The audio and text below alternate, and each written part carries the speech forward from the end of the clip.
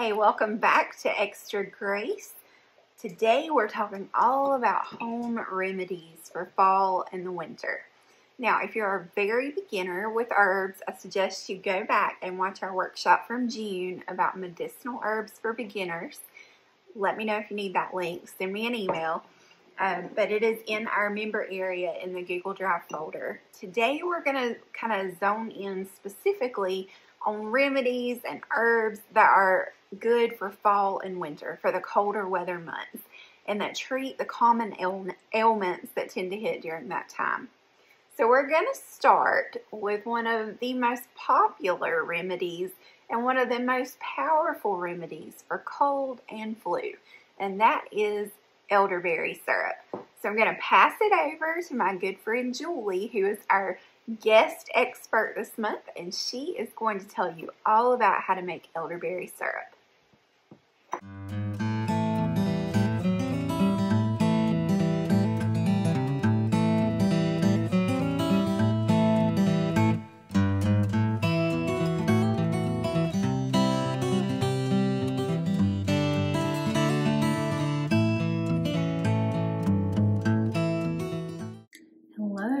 Welcome to my kitchen. This is Misty Creek Acres. I am Julie and I have been making and selling elderberry syrup for years now and I want to just show you the process that I go through to make your own elderberry syrup.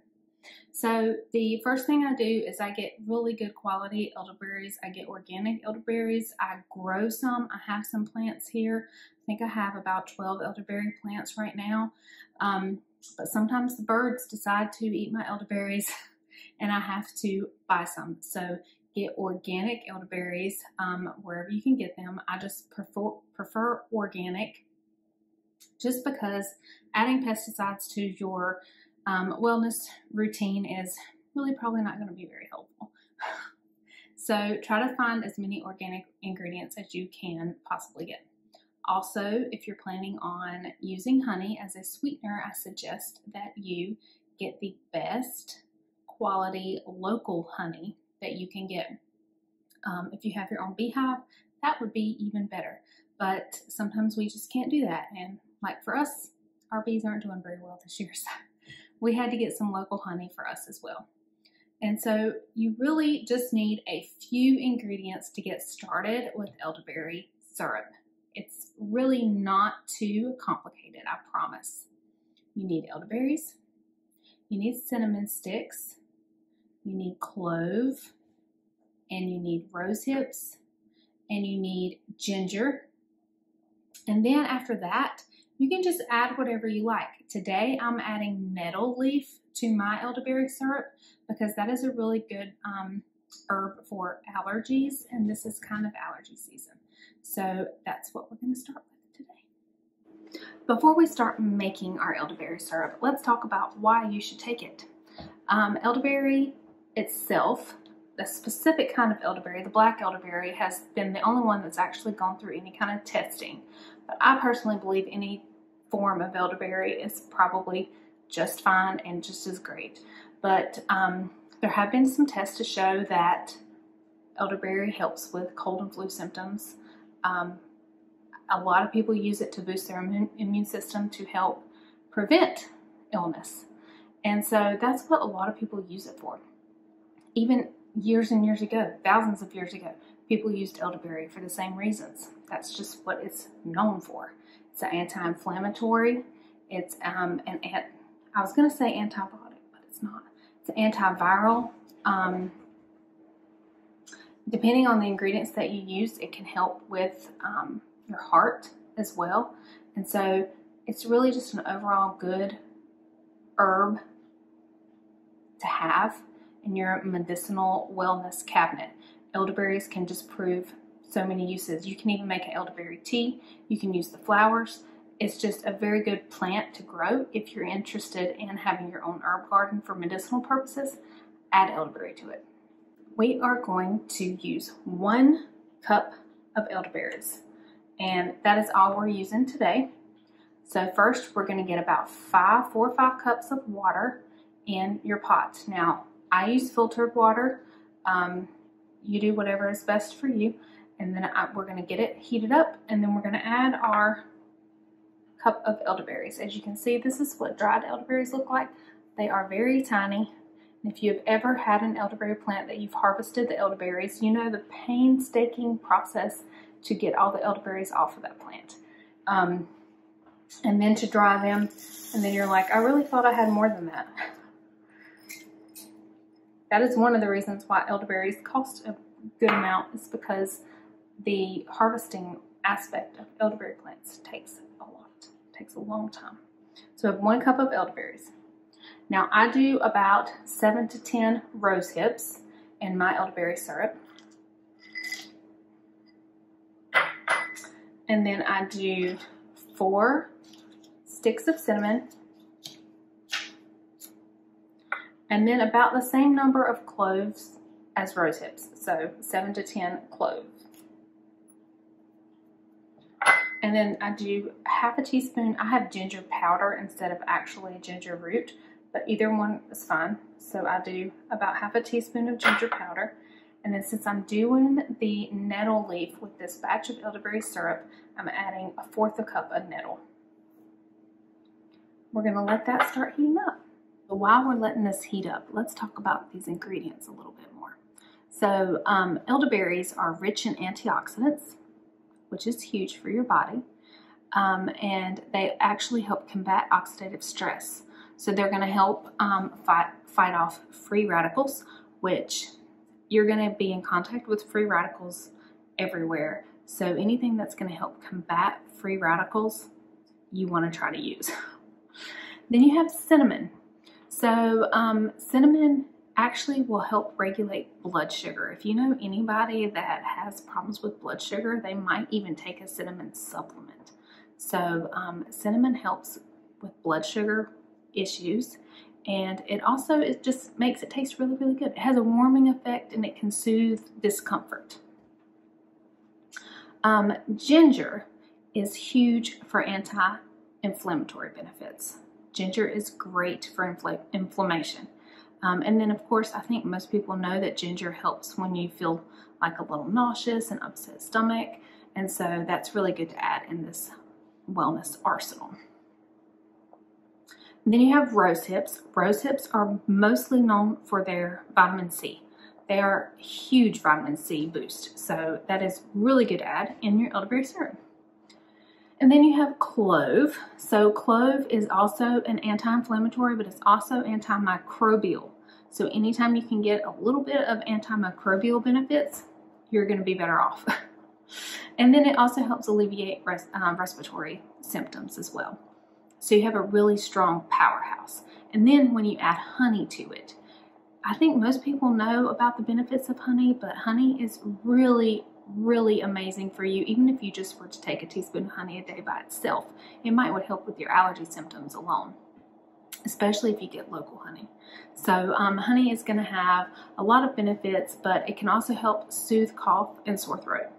And then um, it also makes the, the syrup a little bit sweeter. Now, our syrup does not have preservatives. It does not have thickening agents in it. It's just all natural. So it's not thick. I know it's called syrup, but really it's a very thin liquid. Even when you add honey to it, it kind of thins it out. So we're not adding all these thickening agents that aren't necessary to our syrup, and that's done on purpose. We want something as natural as possible. We don't want chemicals. You look at the ingredients on the elderberry syrups that are in the stores, that are made by pharmaceutical companies, they have all kinds of preservatives and thickening agents in them, and truthfully, they're just not necessary, but they put them in there to help preserve shelf life. So um, we don't need that, and we don't need a lot of sugar. When sugar enters your body, your body is not going to be able to fight off infections as well. So the least sugar, the better. And even though honey is good for you, it's still sweetener. Still what it is. Okay, our elderberry syrup is really starting to heat up now, and we're stirring it. I like using a wooden spoon, but that's just a preference. Um, I also use the cast iron pots for this, but again, preference.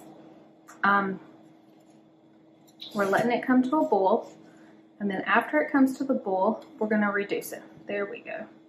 we're going to reduce it down to a simmer for about 30 minutes. And you want to come in and stir it every once in a while.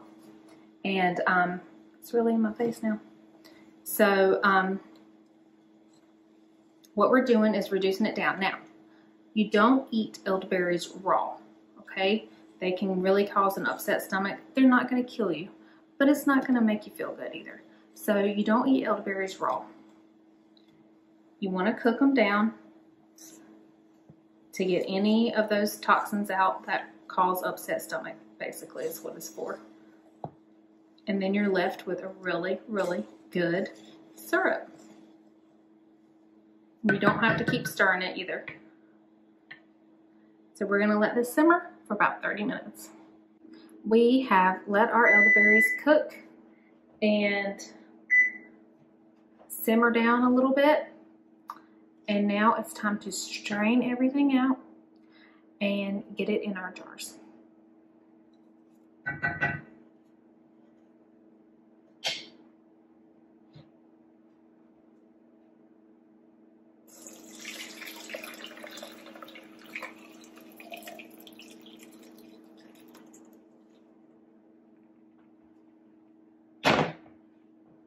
So, as you can see, this is what the elderberry looks like now that it's cooked. Now, you're gonna let this sit and strain for a little while because you want as much of that juicy goodness in this bowl as you can possibly get. We're even gonna mash it a little bit once it's cooled just a smidge. So let it sit for a few minutes and finish straining and draining out all that good juice. So this has been sitting for a few minutes. It is still pretty warm. That's okay. What we're gonna do, we're gonna, I'm taking a wooden spoon, but you do whatever you have. We're gonna mash down into the strainer to get all the juice out of these elderberries. Now I know these are called elderberries. They're not sweet. Um, they're not like a strawberry or blueberry or anything like that. They're pretty tart. That's why people like adding sweetener to it because it's not sweet. It's not sweet like yummy berry. And I think, my personal opinion, um, they were designed like that by God so that we wouldn't eat them raw because eating them raw is not good for us. So I think that that is done on purpose. That's just me. While this is cooling just a few more minutes, I wanted to talk about some additions you can add to your elderberry syrup. So I have um, honey. Now I'm doing, it's about three-fourths cup of honey. You can do as much as you want. Some people do equal parts honey to liquid. I just believe this is elderberry syrup, not like honey flavored with elderberry, if that makes sense. So I don't do as much honey. Now, a lot of times I add essential oils to my elderberry syrup. So in my honey, I will do a couple of drops of these essential oils. So you absolutely do not have to. You um, you can keep it like it is right now. But for for my family, we like to add these essential oils to it. So I literally do one drop of each because they're so powerful. So I do oregano, I do nutmeg, and again, all these essential oils have all the similar properties for boosting your immune system. Cardamom and thyme. Now sometimes I also add a lemon essential oil, um, or you can do orange to just add a little bit more flavor. And those citrus essential oils also have really good anti-inflammatory properties in them as well. So you don't want to mix your honey with your syrup when your syrup is super hot still. So we're just going to let it sit a few more minutes to cool off before we add our honey because if you put the honey in there when it's too hot, the honey will lose all of its medicinal value. You don't want that. So we're going to wait a little bit longer before we add our honey. Okay, let's add our honey to this.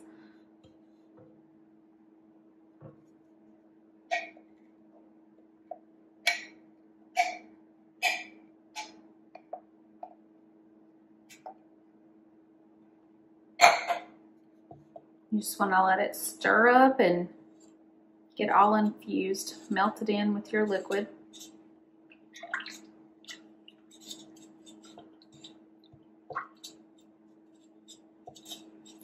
So after you have your elderberries themselves, you can actually feed that to your chickens if you have chickens. They love them. Boost their immune system too. Help them out. And y'all, that's it. You have elderberry syrup. You can put this in your jars and store it for weeks, up to six weeks, I would say, in the refrigerator. Now you can water bath can this elderberry syrup. I will water bath it for about 10 to 15 minutes. Um, I have several jars and um, that's what I do when I sell it. And I will say that when you water bath can it, it does heat the honey up so much that it doesn't really have as many medicinal properties to it, but the honey still is in there for the sweetness. So that's what we do.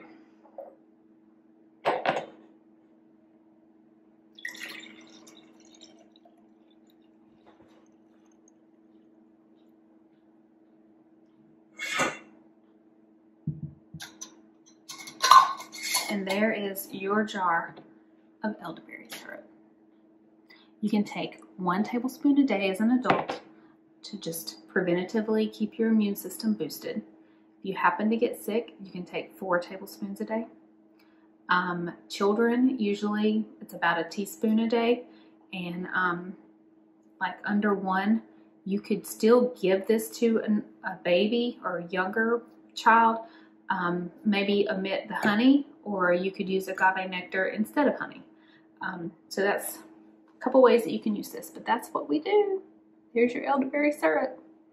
I hope that you make yours and it tastes amazing and you stay nice and healthy this year. I just wanted to share with you quickly the three types of elderberry kits that I have available um, to purchase either on my Etsy shop or my website, mistycreekacres.com. So I developed three different kits. I originally started out with the original standby that everybody goes to. The basic ingredients, elderberries, cinnamon, ginger, and then clove, rose hips. That's the basic for an elderberry DIY kit, which is what I have right here. This is your basic elderberry DIY kit. This kit is the large size and it will make two pint-sized jars. That's usually plenty for a family for a month, okay? Depending on how regular you are, or if somebody actually does get sick, then you're gonna, of course, give them more elderberry syrup, so it might not last that long.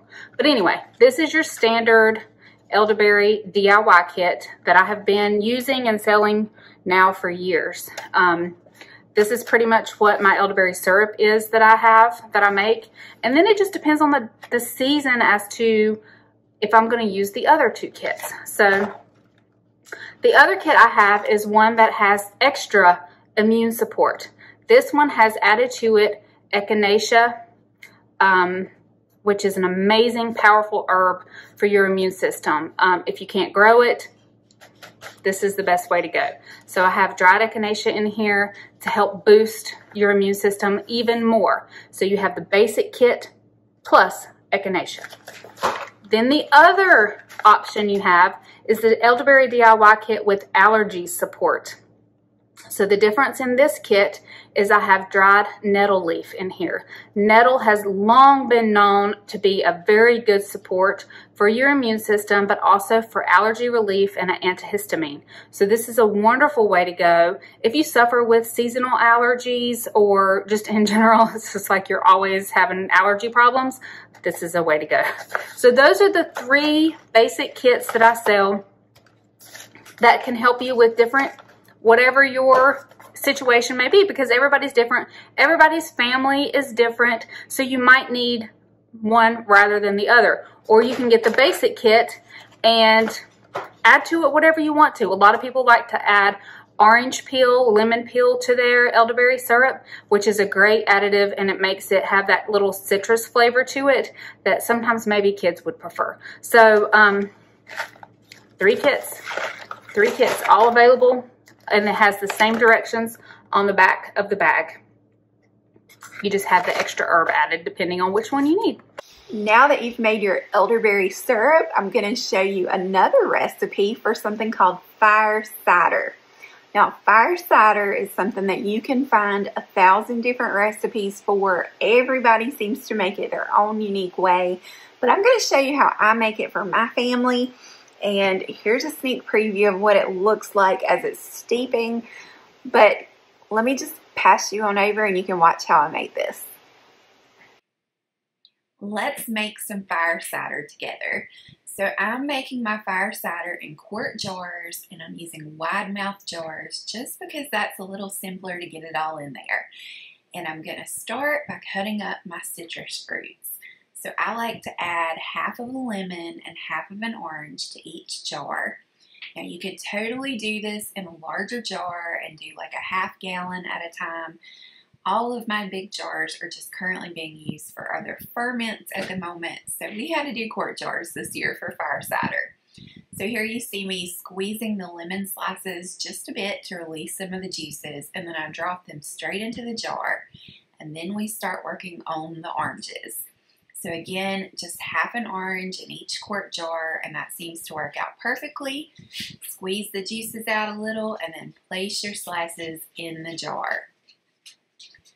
Next up, we're going to add an apple. So we're going to put half an apple in each of the quart jars. You want to cut out the core and just remove that, but I leave the peel on.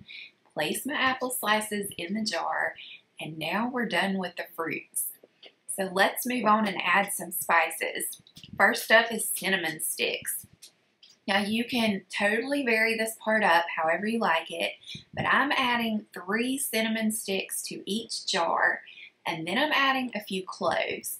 Um, cloves are highly medicinal. They're antimicrobial, and they also add lots of flavor. They're very warming, which is good when you're sick.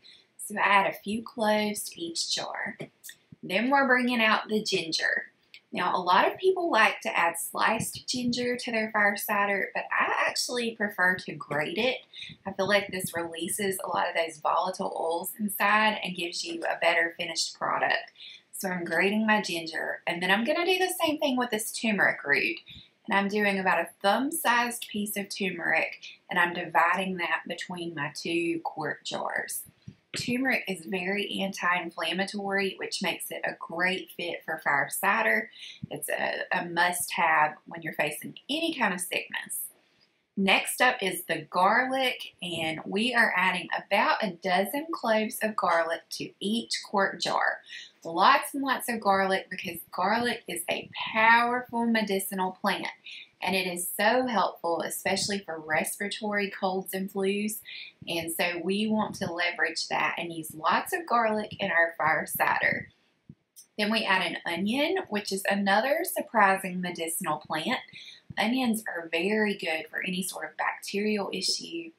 Then rosemary, and I'm also going to be adding lemon balm, both of those are good herbs for fire cider that have great medicinal value and properties. I really love lemon balm because it's an, an anti-anxiety herb and you know with recent pandemics sometimes getting sick can stir up a little anxiety so I add lemon balm to my fire cider just to be extra calming. Next up is our raw honey and I'm adding about a cup of raw honey to each jar and you're going to want to let this kind of work its way down around all the other ingredients. You can tell here I'm not measuring. This is not an exact science, but just about a cup per jar is perfect. And you want to use raw local honey if at all possible. That has the most medicinal value and it's especially helpful for seasonal allergies. The final ingredient to our fire cider is apple cider vinegar. And this is the trickiest part of the process because our jar is very full and that honey likes to sit up at the top. So you want to grab a little butter knife and sort of work it around to let the honey run down in between all of your other ingredients and make room for fire cider. You don't want any gaps or air bubbles in there. So just keep working at it until you can fill it completely full with the apple cider vinegar. You're only going to leave maybe an inch of space at the top And you have to kind of go slowly at this and just add a little at a time. But once you get it full, your fire cider is complete. And at this point, you can add a lid and a ring, give it a shake. You may want to cover underneath the lid with a piece of parchment paper to prevent rust, but this is how I make my fire cider. And we're going to let this sit and ferment for about a month and then strain it out and preserve the liquid and keep it in the fridge as an easy treatment for colds and flu. Welcome to my home at Misty Creek Acres. I am Julie and I wanted to just talk to you briefly about fire cider. Um, I have made my own fire cider and I was going to show you what it looks like and we're also going to talk about the ingredients that are in my fire cider kit. So I have a kit, it's a small little kit of fire cider ingredients now you of course can add to these ingredients, but these are pretty much the basic ingredients in any fire cider recipe. Let's talk about them real quick. So the first ingredient is horseradish. Now, when you hear that, you might be like, Ugh. and you know, horseradish is not like my go-to, but it actually helps clear sinuses and it has a lot of anti-inflammatory, antibacterial properties in it. Surprisingly enough, I know. This also contains ginger, which aids in digestion. And if you have digestive issues, ginger is great to add to your wellness arsenal. Then it also has onion and garlic. Onion and garlic have been well known for their antibacterial properties. Onion actually helps with coughing as well. So if you need a decongestant, expectorant, fire cider is really a great go-to. Then lastly, we have red pepper flakes. Red pepper flakes are gonna help your circulatory system, keep you warm, help your body just flow. And that is exactly what it needs to do, especially if you're fighting something. Then you mix all that in apple cider vinegar. So I think we all know how good apple cider vinegar might be for us. Um, if you're anything like me, you've heard about it for years that a lot of people take like a tablespoon of apple cider vinegar every day. It helps with digestion also, helps with energy, and it really is great for your gut health. A lot of people have many benefits of apple cider vinegar. They've talked about it being good for blood sugar control and um, blood pressure problems. So apple cider vinegar itself is great for you. So you combine apple cider vinegar with these herbs in this kit and you have a powerhouse for your immune system. And all you have to do is take one tablespoon a day one tablespoon a day, and you'll be good to go. Some people end up taking this before meals, like an hour before meals, and it aids in their digestion as well. So that's another way that you can use fire cider. You can use it preventatively every day, one tablespoon a day, or you can use it when you actually are feeling sick and take it up to four times a day. It is not the same as elderberry syrup. So there are different benefits. There are some similarities, but they're both different. So you could do both at the same time. Take your fire cider in the morning before you eat. Take your elderberry at night before you go to bed. Easy way to combine both of them and have a really healthy winter. So you've made elderberry syrup and you've made fire cider. Now let's talk about a few more fall and winter remedies that you might want to add to your home apothecary. The first thing that I would suggest for the winter months is one that a lot of people don't think of, and that is a calendula oil. So calendula is the pretty yellow happy flowers that I grew in my raised bed garden this year at the entrance.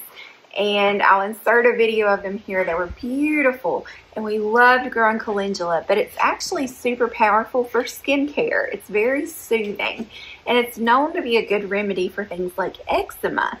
Anything with dry skin is going to respond really well to this one. And so here is a calendula oil that I've already infused and you basically just put your petals from the flowers or your flower heads into an oil, a carrier oil. Now I used olive oil for this infusion. You can also use coconut oil or almond oil, really whatever you like. Any kind of oil will do. And you want to let it sit for about four weeks. Give it a shake every day and then strain it out and then we keep this stored on the apothecary shelf. You're really supposed to store these in a cool dark place if possible but if you're like me and space to challenge a bookshelf will do. So that's the first one, calendula oil for anything skin related. You know in the winter we get a lot of dry chapped skin.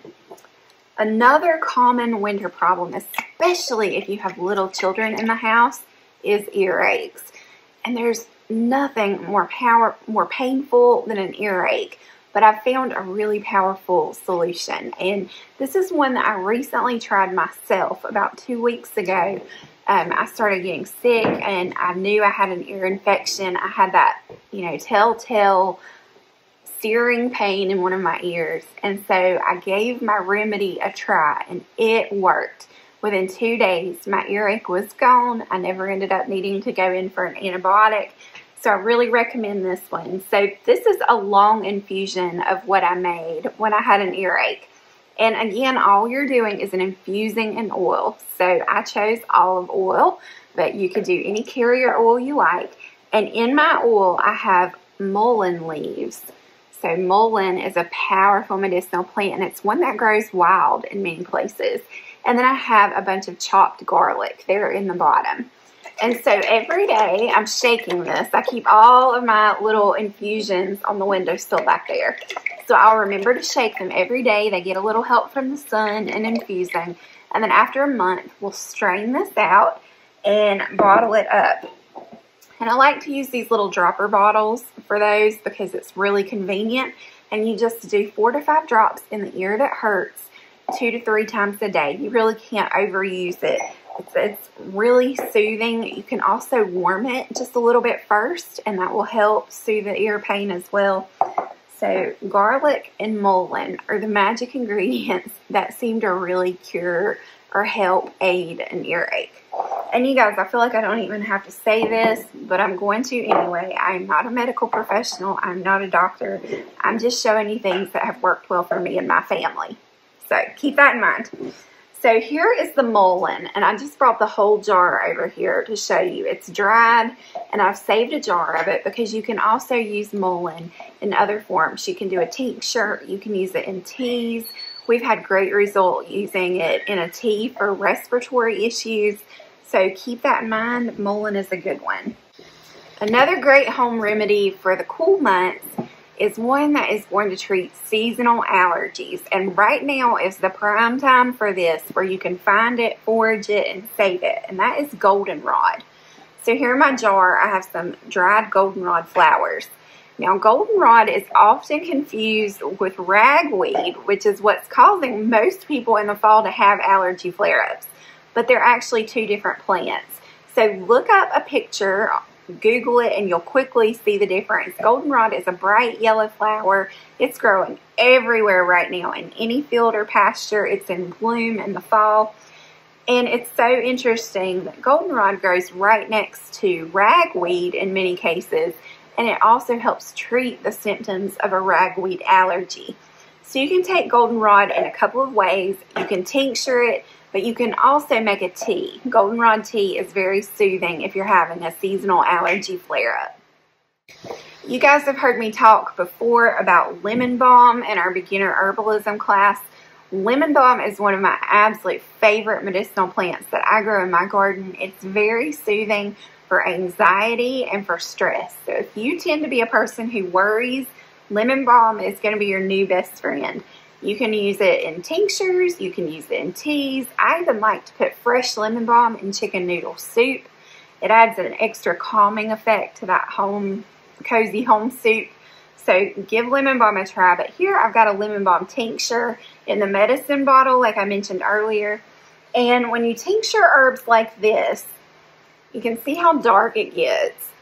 And there's a few ways you can take this. Now, the easiest way for a beginner who's just learning to use tinctures is to put about five drops in a glass of juice and just drink it, okay? For a stronger effect though, you can take five drops and put them under your tongue and hold it there for at least 10 seconds. Now, it's not going to taste good, you guys. And remember, we're making a lot of our tinctures from vodka, so there is alcohol in this. So I want to point that out in case you or someone in your home doesn't want to use alcohol. That's okay. You can make vinegar tinctures with almost all of the same herbs. So in this case, you could totally do a lemon balm and vinegar infusion and use it the same way. But take it under the tongue or in a cup of juice, and it's very calming. I like lemon balm a lot for sleep. If you tend to be restless at night, take a little lemon balm and it will help you rest. And then the final thing that I wanted to show you and share with you is echinacea. And here in this jar, I have an echinacea tincture that is in process. And I'm really excited about this particular tincture because it is a whole echinacea tincture. Now, I've been growing echinacea here at our little homestead for three years. And the thing with echinacea plants is you have to wait until the third year before you can harvest any of the root. And the root is the most potent, powerful part of the plant from a medicinal point of view. So this is the first year I've been able to actually harvest part of the root from my echinaceas and I have made a tincture. And so in here I've got part of the root, I have some of the leaves, and then I've also got some of the flowers, the flower heads, and it is covered in vodka. Now remember for your tinctures you need to use 80 to 100 proof of your vodka or whatever alcohol medium you're choosing. I look for the cheapest uh, vodka that is going to be high enough alcohol because it doesn't matter what it tastes like.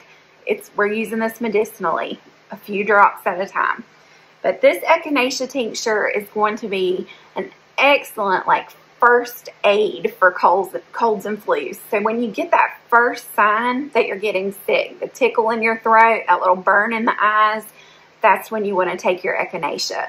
So you can either start a tincture then, taking it twice a day, or you can even start drinking echinacea tea. But if you use the tea for it to be really potent medicinally, you're going to have to drink it often. So we're talking, you want to aim for five to six cups of echinacea tea a day. So just sip it all day long. If you're not a fan of sipping on tea, you can do a tincture and just do the dropper, and it's a little bit easier. So those are some of the remedies that we use and love here in our home and for our family, and I hope some of those will be helpful for you.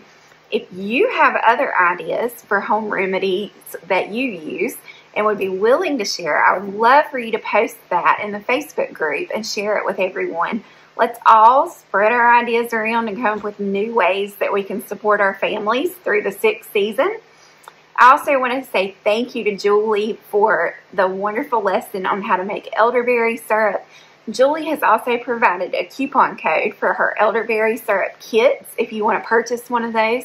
So look for that in the email that came with this video. Look for that coupon code and you can grab one of her kits at 10% off for being part of Extra Grace. So thank you, Julie, for doing that and for teaching us today. Thank you, Extra Grace friends, for being part of this class. And I pray that you'll be blessed and you'll continue to discover all the wonders of plants every single day.